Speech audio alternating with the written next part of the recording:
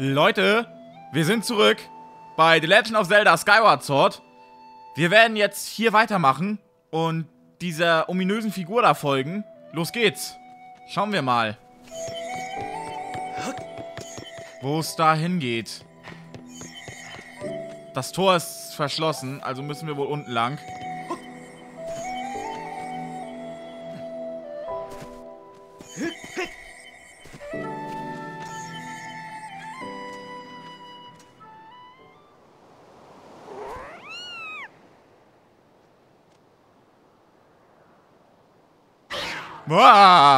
Was bist du denn, Diggi? Ach, der greift mich an.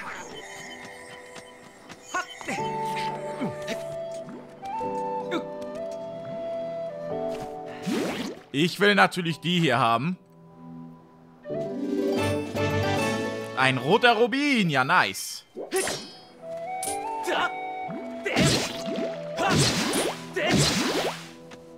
Leute, das Gute ist, die Safe States funktionieren selbst mit Bluetooth Path-Through. Das heißt, wir müssen uns nicht jedes Mal angucken, wie wir Rubine bekommen, wenn das weiterhin so gut funktioniert.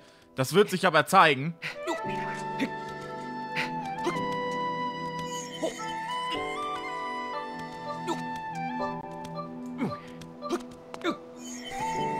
So, upsi, ich habe was vergessen. Einmal das Band hier ranmachen.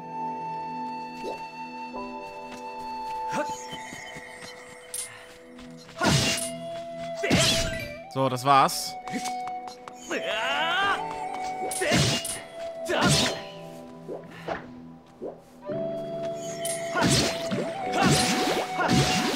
Nice.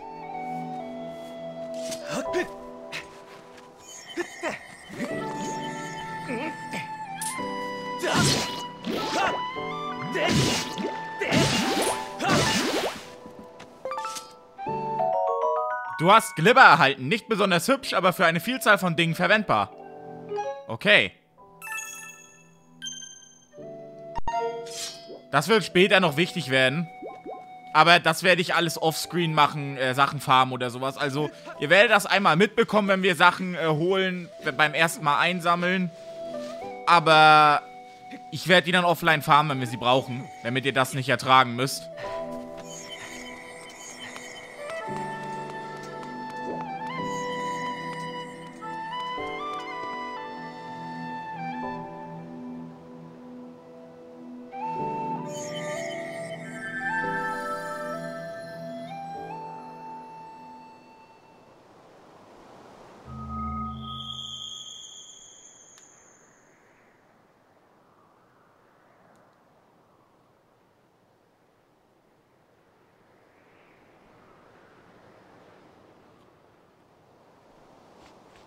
Gehen wir rein.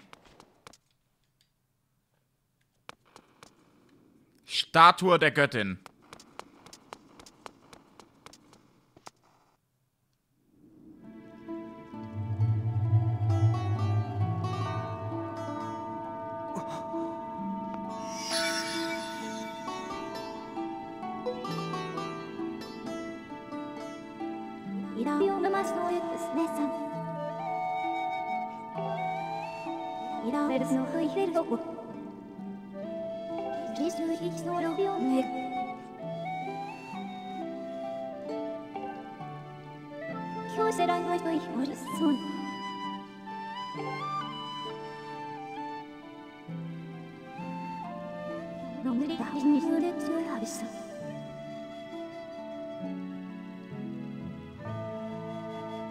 behind the bushes.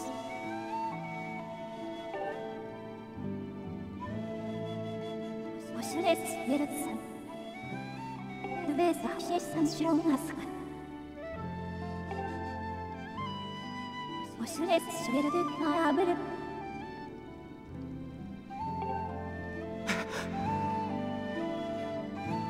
Nomilize Number Snake. Schweiz diese Messe. Iranashi soyonare so.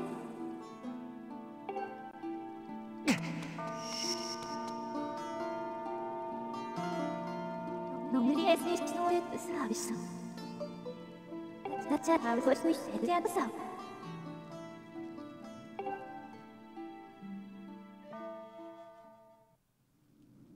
Na, das war damals zu Skyward Sword Zeiten äh, einer der coolsten Momente. Ihr habt es wahrscheinlich mitgekriegt. Manchmal sieht das Bild so verschwommen aus.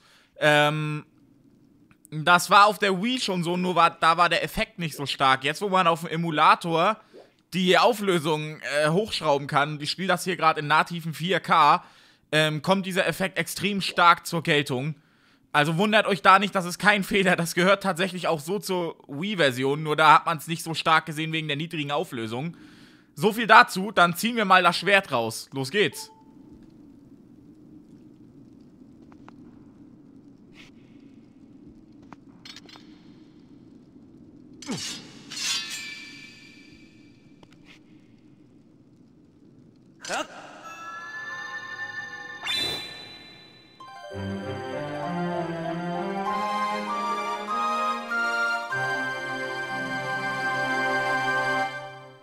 Du hast das Schwert der Göttin erhalten. Dieses legendäre Schwert ist erfüllt vom heiligen Licht der Göttin.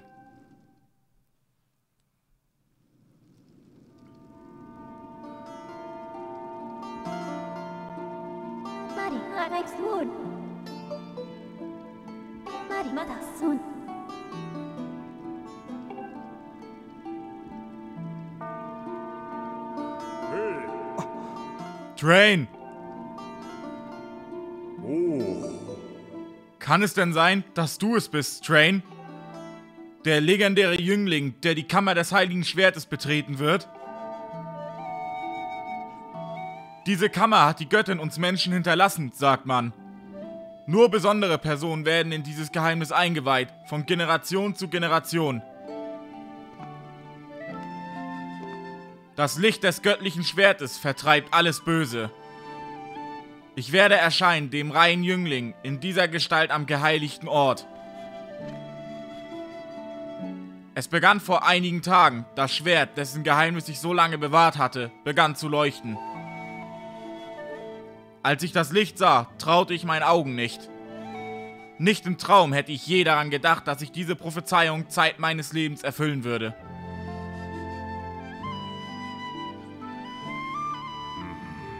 Es ist, wie es die Prophezeiung sagt.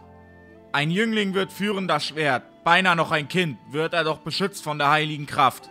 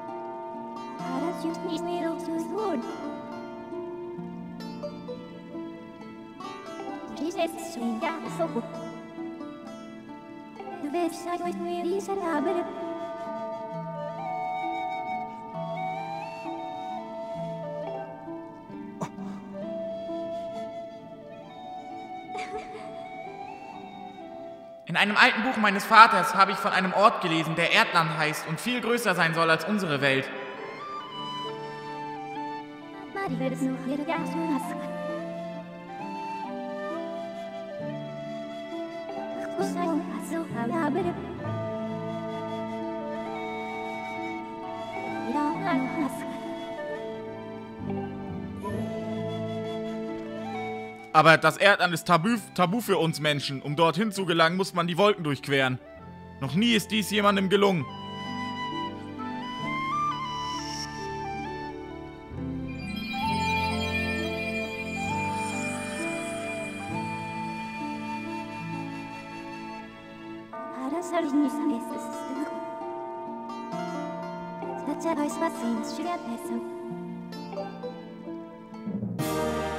Du hast die Smaragdtafel erhalten. Sie ist aus schwerem Stein gefertigt und scheint sehr alt zu sein.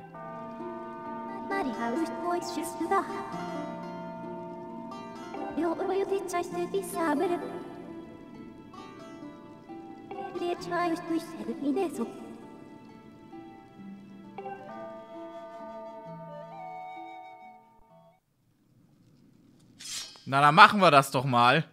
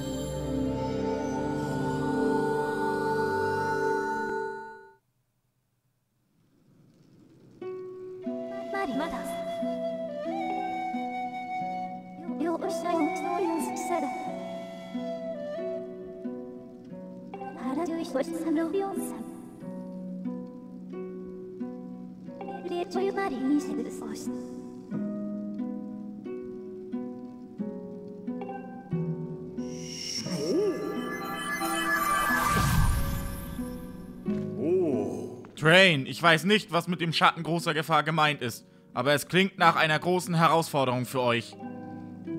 Wenn Feis Worte wahr sind, dann ist Zelda am Leben. Sie lebt. Du musst sie finden und dich zugleich deinem Schicksal stellen, Train. Niemand weiß, welche Prüfung das Schicksal für dich vorgesehen hat. Doch versprich mir, meine Tochter, versprich mir, Zelda zu retten.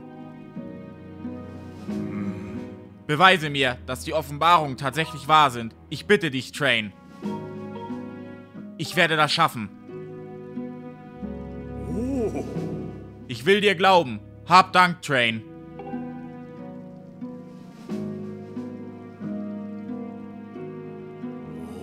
Es wird schon hell. Diese Nacht war sehr lang für uns. Mit diesen Kleidern kannst du deine Reise nicht antreten, Train. Da du die Vogelreiterzeremonie bestanden hast, habe ich ein neues Gewand für dich. Mit ihm bist du auch für eine längere Reise gut gerüstet. Am besten du ziehst es morgen gleich an.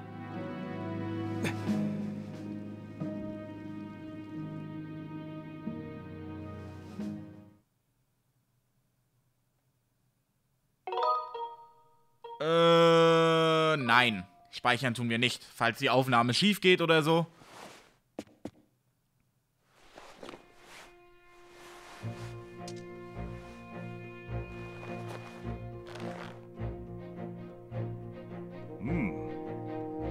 Das diesjährige Gewand der Ritter. Als ich die Farbe das erste Mal sah, war ich ein wenig skeptisch. Aber wie ich sehe, steht es dir ganz vorzüglich, Train.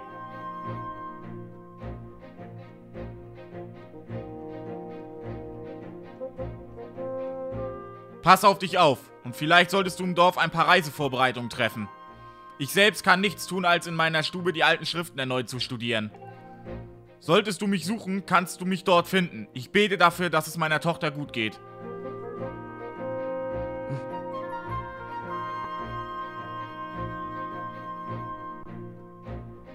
Na, dann würde ich mal sagen, gehen wir.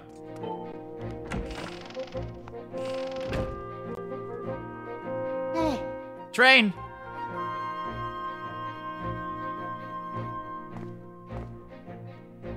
Diese grüne Kleidung steht dir wirklich gut. Du siehst aus wie ein wahrhaftiger Ritter. Ich habe vom Direktor erfahren, dass du losziehst, um nach Zelda zu suchen. Du bist wirklich unglaublich. Ich würde so etwas niemals schaffen. Hier, das habe ich für dich gemacht. Vielleicht nützt es dir auf deiner Reise. Du hast die Abenteuertasche erhalten. Sie bietet Platz für Items, die du während deines Abenteuers finden wirst. Das ist eine Abenteuertasche. Darin kannst du bis zu vier Items verstauen. Wenn du möchtest, kannst du im Bazar ein paar Items kaufen. Die kannst du dann in diese Tasche aufbewahren. Ich bin sicher, ein Schild oder ein Herztrank werden dir auf deiner Reise besonders nützlich sein. Train, ich glaube ganz fest daran, dass du Zelda finden wirst.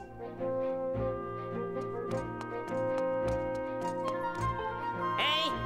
Wie? Du bist als einziger mit guten Noten belohnt worden? Das ist ja wirklich nicht zum Aushalten. Erst verschwindet Zelda, dann kommt Bardo nicht mehr aus seinem Zimmer heraus und an all dem bist du ganz allein schuld. Du ganz allein. Danke für deine netten Worte, du Spast.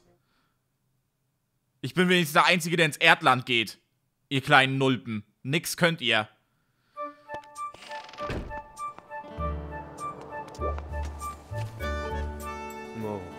Train, ich habe gehört, dass du Zelda unter den Wolken suchen willst. Der Direktor sprach davon, dass unter den Wolken das Erdland liegt. Weißt du etwas über dieses Erdland? Das ist übrigens ein interessantes Schwert, aber ein Schild brauchst du auch. Nimm den hier. Nice, wir haben gleich mal ein Schildgeschenk gekriegt. Ein Holzschild ist leicht und einfach zu handhaben, hält aber nicht viel aus. Außerdem kann er Feuer fangen. Wenn dein Schild zerstört wird, kannst du dir im Bazar einen neuen kaufen. Du kannst den Schild ausrüsten, indem du Minus gedrückt hältst und die Wii-Fernbedienung bewegst, um ihn auszuwählen. Wenn du nicht weißt, wie du mit einem Schild umgehst, frag am besten den Schwertmeister in der Übungshalle. Er kann es dir sicher beibringen. Das brauchen wir diesmal nicht, da ich weiß, wie man mit einem Schild umgeht. Wir können Sachen wie das hier und solche Geschichten. Mehr brauchen wir auch nicht. Dann gehen wir...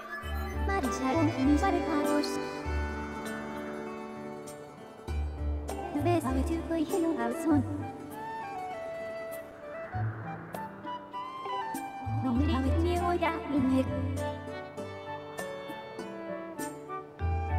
Only you can have strong son. Mari have no home idea. Mari to you some discover. ガソルカマスやビスネ。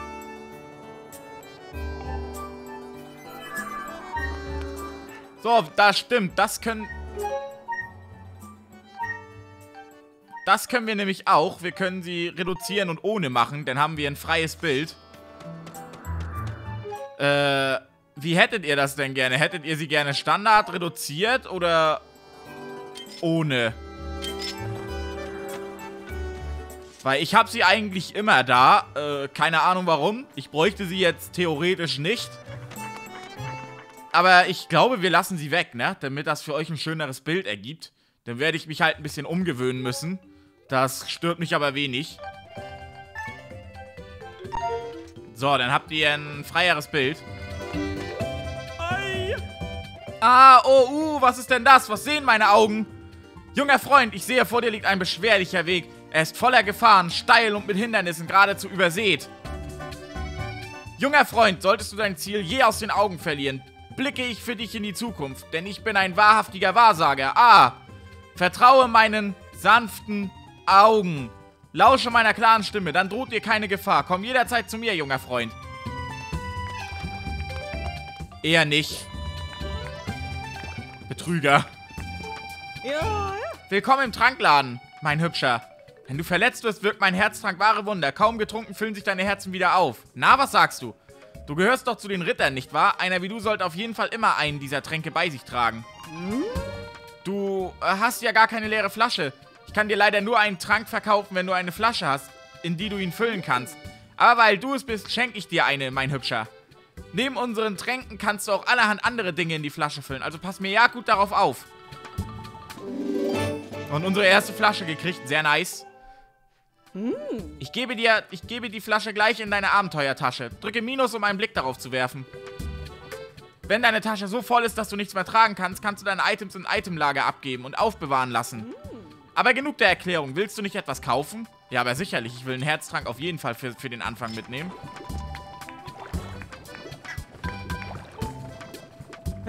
Das hier ist ein Wundertrank. So etwas Großartiges bekommst du sonst nirgendwo. Schmiere ihn auf dein Schild, um ihn zu reparieren und die Schildanzeige wiederherzustellen. Und nicht nur das, dabei werden auch noch vier deiner Herzen aufgefüllt. Na, das ist doch ein Kauf wert, oder? Eine Flasche davon kostet gerade mal 30 Rubine. Nein.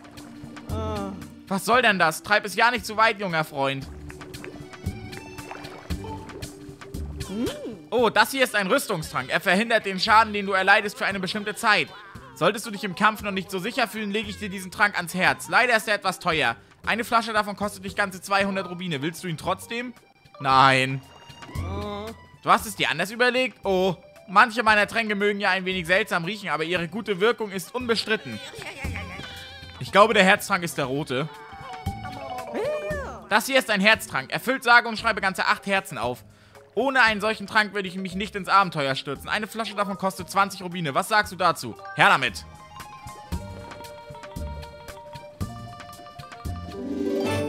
Du hast dein Herz dran gehalten. Setz ihn als Taschenitem ein, um 8 Herzen wieder aufzufüllen. Vielen Dank. Und vergiss nicht, wenn du diesen Trank verfeinern möchtest, wende dich an meinen Mann. So, erstmal nicht. Verfeinern können wir nämlich noch nicht. Jetzt wollen wir uns aber auch ins Abenteuer stürzen. Wir haben soweit alles, was wir brauchen. Mehr können wir noch nicht machen. Das wird, wird sich alles mit gegebener Zeit ändern.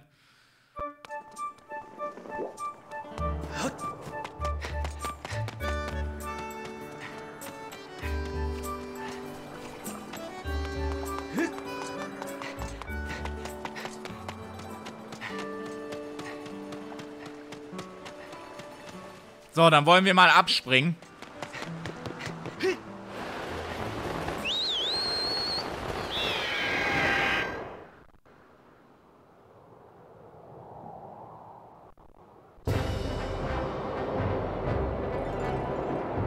Auf geht's ins Erdland.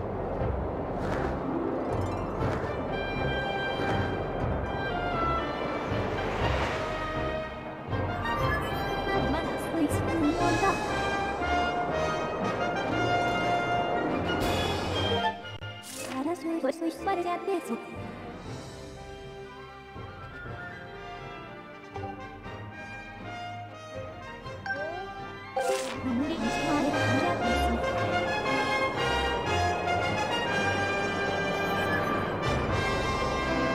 Danke, Fai. Danke, wirklich.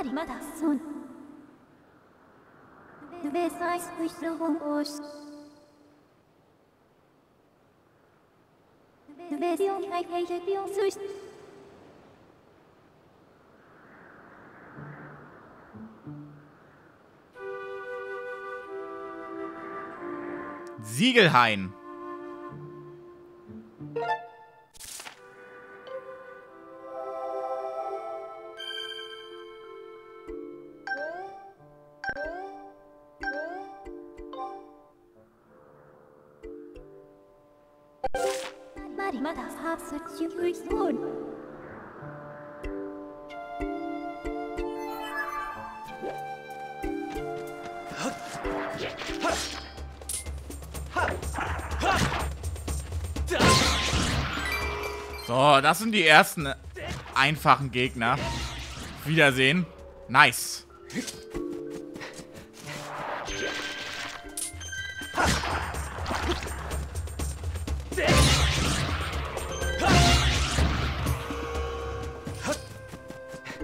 Tja, alle tot.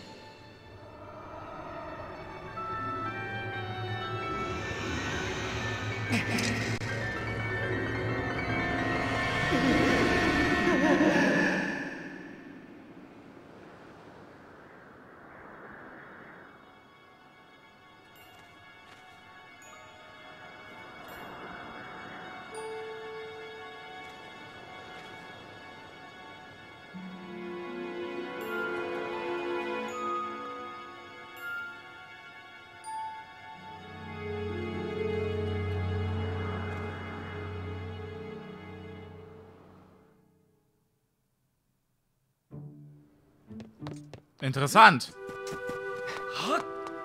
Reingehen können wir noch nicht.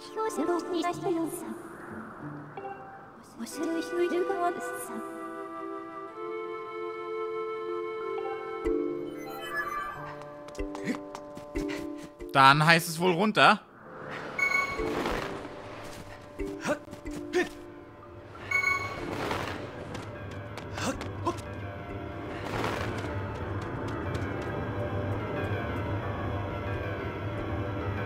Mein Kind. Kind des Himmels, das aus den Wolken kam.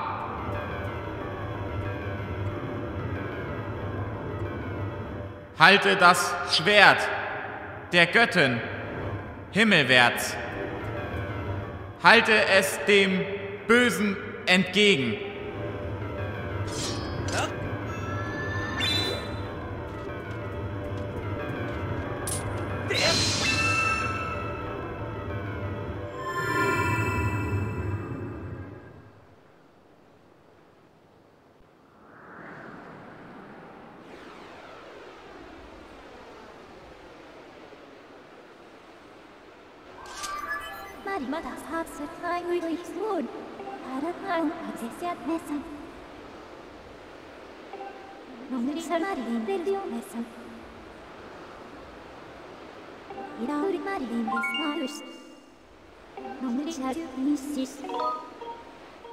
Bitte, für euch extra.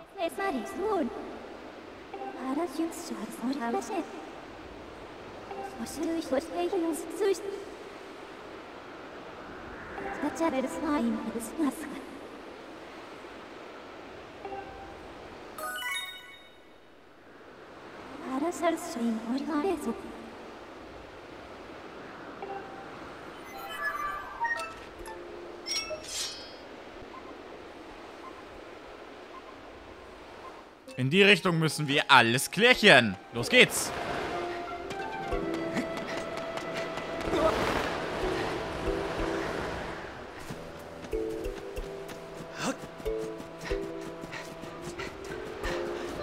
Und einmal hoch.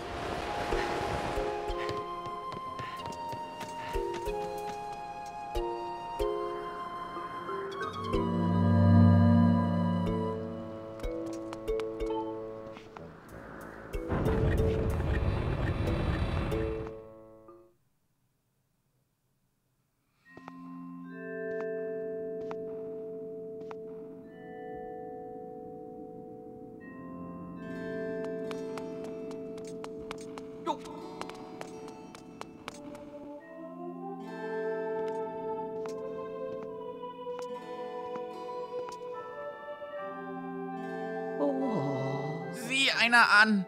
Der Auserwählte, der das Wolkenmeer durchquert hat und vom Himmel gestiegen ist.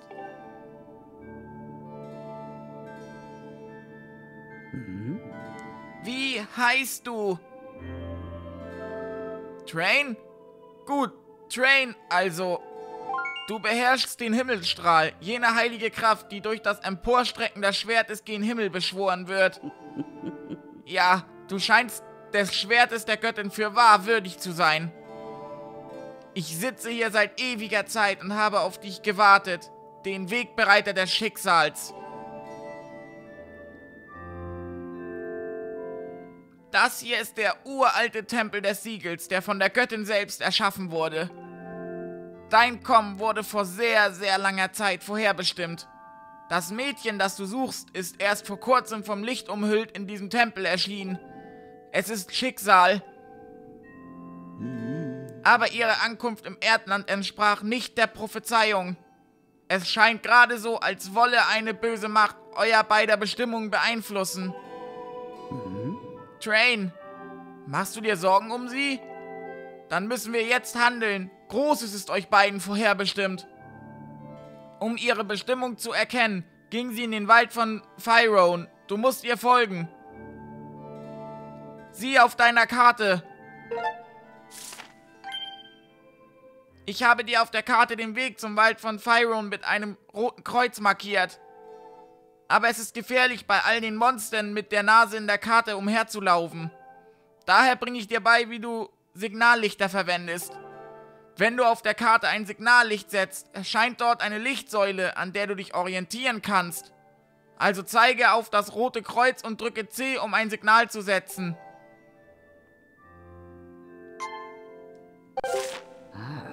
Du kannst es von hier zwar nicht sehen, aber das Signallicht leuchtet dir nun den Weg. Wenn du das Signallicht nicht mehr brauchst, zeige auf der Karte darauf und drücke erneut C, um es zu entfernen. Jetzt musst du nicht mehr fürchten, dich zu verlaufen. Geh nun in den Wald von Phyrone und finde die heilige Maid. Finde Zelda. Nimm den Inhalt der Schatztruhe in diesem Raum an dich. Er wird dir auf deiner Reise nützlich sein.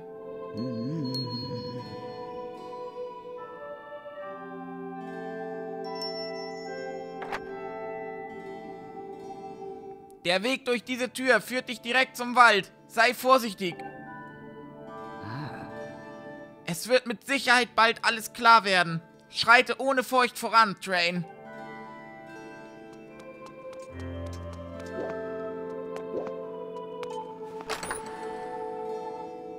Und die zweite Flasche. Du hast den Wundertrank erhalten. Dieser mysteriöse Trank stellt deine Schildanzeige komplett wieder her und füllt außerdem vier Herzen auf. Sehr nice.